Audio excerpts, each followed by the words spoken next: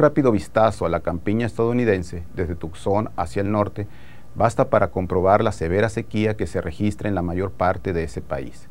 En cambio, el verdor de las praderas del lado mexicano es notorio.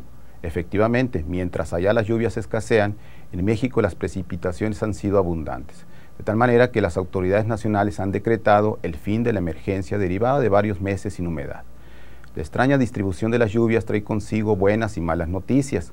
Las malas se originan en los trastornos que la sequía norteamericana provoca en el mercado mundial de granos.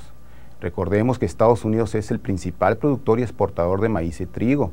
El esteaje que padece afecta esos indicadores y eleva los precios de los alimentos.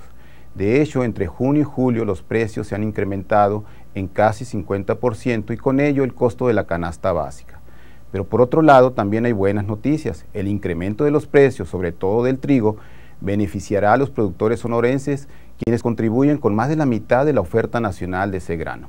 Es decir, la satisfactoria temporada de lluvias que registra la entidad, más las expectativas de buenos precios para el trigo, permiten visualizar un horizonte favorable para los trigueros sonorenses.